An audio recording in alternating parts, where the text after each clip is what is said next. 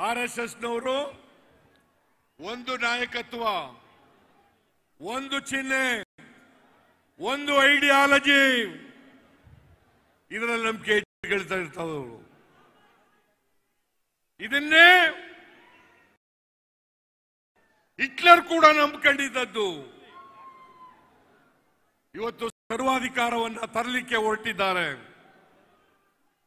ಸಂವಿಧಾನವನ್ನು ನಾಶ ಮಾಡಲಿಕ್ಕೆ ಹೊರಟಿದ್ದಾರೆ. ಸಂವಿಧಾನ ಇದ್ರೆ, ಸಂವಿಧಾನ ಉಳಿದ್ರೆ, ಬಾಬಾ ಸಾಹೇಬ್ ಅಂಬೇಡ್ಕರ್ ಅವರು ಕೊಟ್ಟಿರ್ತಕ್ಕಂಥ ಸಂವಿಧಾನ ಏನಿದೆ, ಅದು ಉಳಿದ್ರೆ ನಾವೆಲ್ಲ ಉಳಿಲಿಕ್ಕೆ ಸಾಧ್ಯ ಆಗ್ತದೆ.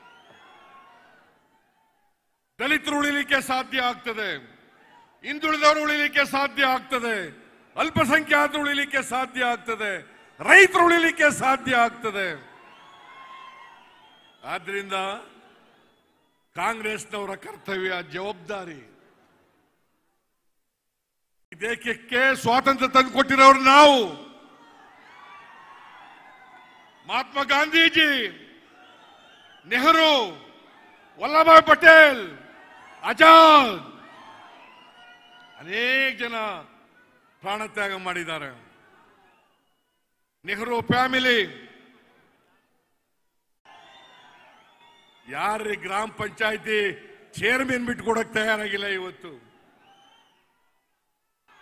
ಅಂಥದ್ರಲ್ಲಿ ಸೋನಿಯಾ ಗಾಂಧಿ ಅವರು ರಾಹುಲ್ ಗಾಂಧಿ ಅವರು ನಮಗೆ ಪ್ರಧಾನಮಂತ್ರಿ ಪಟ್ಟ ಬೇಡ ಅಂತೇಳಿ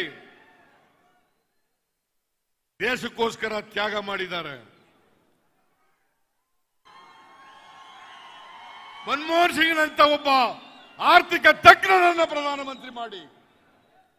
ಈ ದೇಶದ ಮೂಲಭೂತ ಸಮಸ್ಯೆಗಳು, ಮೂಲಭೂತ ಸಲಹೆಗಳು right to work right to education right to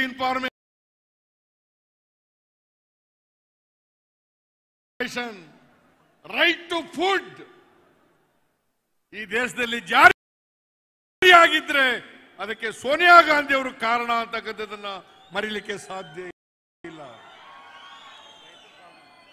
ರೈತರ ಸಾಲ ಮನ್ನಾ ಮಾಡಿದ್ರು.